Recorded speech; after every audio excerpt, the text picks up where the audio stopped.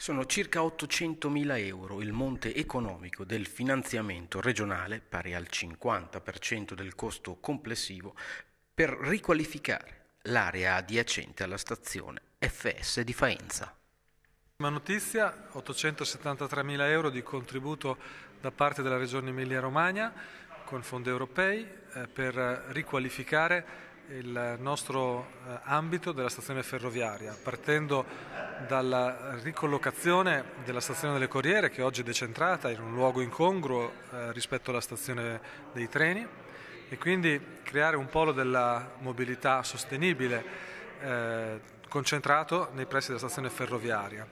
Eh, migliorare l'accessibilità, la viabilità eh, di tutto il comparto e quindi un'opera che i, i faentini attendevano da tempo, anche perché eh, sarà possibile realizzare eh, nuovi parcheggi, perché i pendolari eh, da sempre lamentano la carenza di, di, spazi per la sosta permanente. E quindi diciamo una grande opportunità che si apre, chiaramente eh, anche il Comune dovrà metterci la sua parte perché il contributo è al 50%,